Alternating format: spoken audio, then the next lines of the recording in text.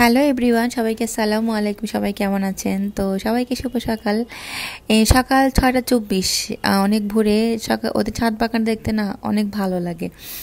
তো আমি আমার ছেলের টিফিন রেডি করব। ঝটপট কিছু টিফিন রেডি করতে হবে। কারণ আজকে যেহেতু বৃহস্পতিবার, আমার ছেলের প্রিটি ড্রেসটাও কিন্তু আমি আয়রন করি নাই, তো ওইটা আমাকে আয়রন করতে হবে। এবং তো বাচ্চাকে তো রেডি করার ব্যাপার আছে। তো তাড়াহুড়া করে আমি এখানে ম্যাগি ব্লাস্টটা নুডলসটা নিলাম। এখানে আমাদের জন্য করতেছি, এখানে সকালে নাস্তা খেদা লাগে, অল্প করে একটু খেয়ে ফেলব। তো আমি ওর স্কুলের ইউনিফর্মটাও একটু আয়রন করে নিচ্ছি। নুডলসটা হয়ে গেছে, টিফিনে নিলাম। এদিকে আমি মেশিনে কাপড় দিছি, কাপড়ও দেওয়া হয়ে যাচ্ছে। যেহেতু ইলেকট্রিসিটি থাকে না তো সুযোগটা হারাইতে চাই না, আমি সকাল সকালে কাপড় ধুয়ে ফেলি। তো ওর জন্য সসেসে ভেজে নিলাম পানি নিয়ে নিলাম। এখন ওর টিফিন নিয়ে অল্প করে নুডলস নিচ্ছি, যেহেতু সব দিব না, এখান থেকে আমিও খাব। তাইলে ডান, ওর টিফিনও রেডি হয়ে গেল, সব রেডি। এখন বাচ্চাকে রেডি করে ফেললাম। এর মধ্যে বৃষ্টি চলে আসছে, কেমনে স্কুলে যাবে? টেনশনে পড়ে গেছে। যে মা, এত বিজলি চমকাচ্ছে, আমি কেমনে স্কুলে যাব? এইদিকে স্পর্শময় তো দুষ্টামি করতেছে স্পর্শময়ের কুল থেকে নামিই না। মানে ভাইয়াকে বলে, ভাইয়া, তুমি স্কুলে যাও না, আমার সাথে থাকো, আমরা সারাদিন শুধু ঘুমাবো। আমার মাইয়ার তো খায় কোনো কাজ নাই, সারাদিন শুধু ঘুমায় ঘুমায় আর খায়। তো সর্বশেষে ওরা বাপ ছেলে চলে গেল। ওদেরকে বিদায় দিয়ে দিলাম।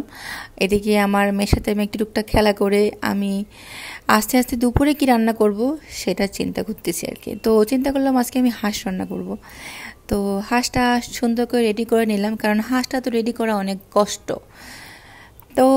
এখন তাড়াহুড়া করে হাঁসটা রান্না করে ফেলতেছি, কারণ আমাকে আবার কি স্কুলে যেতে হবে ছেলেকে আনতে।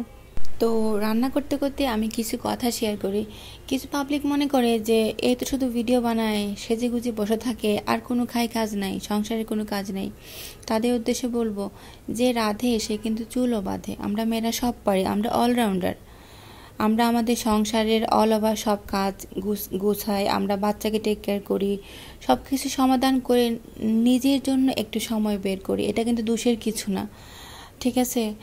আর আমরা মেয়েরা না থাকলে আপনাদের সংসার এত সুন্দর হতো না। তো বাদ দেন, তো এই যে গরম গরম খাবার রেডি আমি এখন খাব। কেউ আবার আফসোস করবেন না, ঠিক আছে? আমি কিন্তু ঝাল অনেক পছন্দ করি, আর হাসবো না তো সেই মজা হয়েছিল, সেই মজা। আর আমি কতগুলো মরিচ নিজে তো দেখছিনি আমার কাছে দেখলে কম হয়ে গেছে, আমি কিন্তু পরে আরও নিয়েছিলাম। তো সবার কেমন লাগলেও অবশ্যই কমেন্ট করবেন লাইক দিবেন শেয়ার দিবেন, অবশ্যই আমার পাশে থাকবেন, ভালো থাকবেন সবাই, আর অবশ্যই সাপোর্ট করবেন, ঠিক আছে? আল্লাহ হাফিজ, টাটা।